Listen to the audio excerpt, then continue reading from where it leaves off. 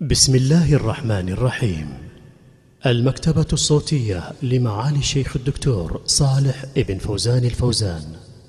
حلقات من أحكام القرآن الكريم للشيخ صالح ابن فوزان الفوزان. تفسير سورة آل عمران. الدرس الحادي والستون.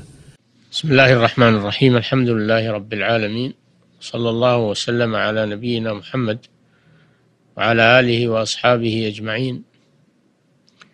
قال الله سبحانه وتعالى إن الذين كفروا لن تغني عنهم أموالهم ولا أولادهم من الله شيئا وأولئك أصحاب النار هم فيها خالدون. مثل ما ينفقون في هذه الحياة الدنيا كمثل ريح فيها صر أصابت حرث قوم ظلموا أنفسهم فأهلكته وما ظلمهم الله. ولكن أنفسهم يظلمون. لما ذكر الله سبحانه وتعالى في الآيات السابقة الثناء على أهل الكتاب الذين آمنوا بأنبياء الله ورسله جميعا ولا سيما من أدرك منهم محمد صلى الله عليه وسلم وآمن به. فإن له فضيلتين. فضيلة اتباعه للرسول السابق وفضيلة اتباعه للرسول الخاتم صلى الله عليه وسلم. ومن مات منهم قبل البعثة وهو متمسك بدينه وهو مخلص لله عز وجل في عبادته فله أجره عند ربه. ومن عاش إلى أن أدرك محمد صلى الله عليه وسلم فآمن به فله الأجر مرتين. كما قال الله سبحانه وتعالى يؤتكم كفلين من رحمته. لما ذكر هذا بين حال الذين خالفوا هذا الصنف من أهل الكتاب الذين كفروا بالله كفروا برسله أو كفروا ببعض الرسل.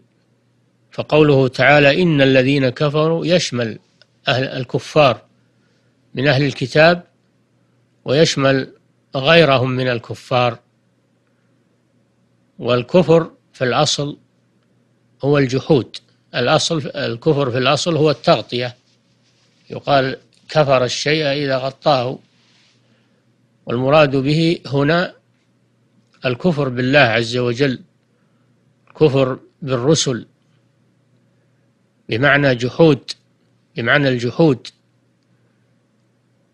الذي هو عدم الإيمان بالله عز وجل وعدم الإيمان برسله وكتبه وما يجب الإيمان به فهذا هو الكافر.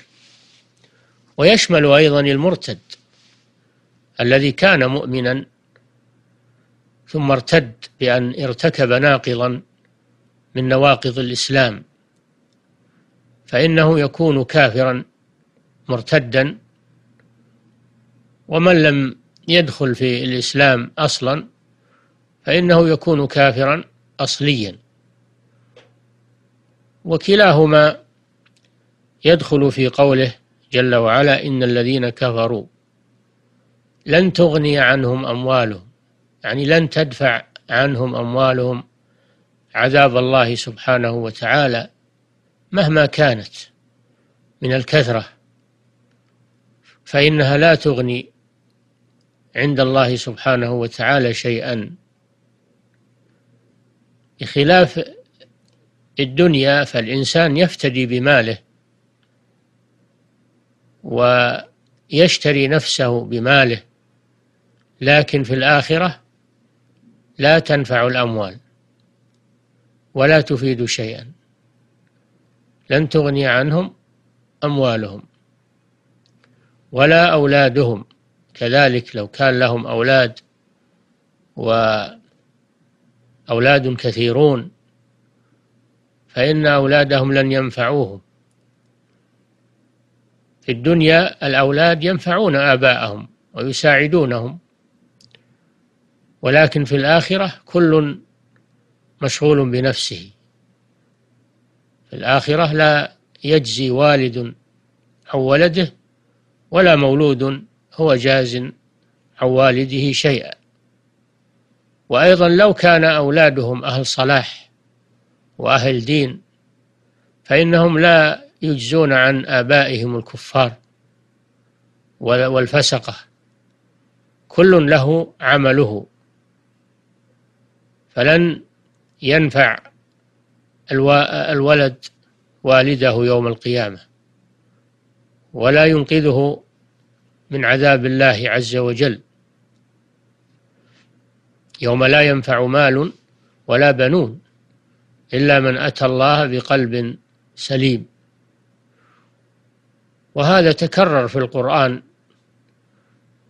أن الأموال والأولاد لا تغني من الله شيئا. وأن من مات على الكفر فإنه من أهل النار. ولو كان من أكثر الناس ثروة في الدنيا وأكثر الناس أولادا في الدنيا وخدما وحشما وجاها فإن هذا لا يغني عنه شيئا يوم القيامة. لأن الله لا ينظر إلى إلى الصور والأموال وإنما ينظر إلى القلوب والأعمال كما جاء في الحديث. فلا فإذا كان الإنسان تقيا لله تقيا عابدا لله فإنه هو السعيد ولو لم يكن له مال ولو لم يكن له أولاد ما دام أنه تقي فإنه هو السعيد. لن تغني عنهم أموالهم ولا أولادهم من الله شيئا. ثم قال وأولئك أصحاب النار هم فيها خالدون. أولئك الذين كفروا هم أصحاب النار أي الملازمون لها ملازمة الصاحب لصاحبه. وقال أصحاب النار لأنهم لا يخرجون منها فهم ملازمون لها.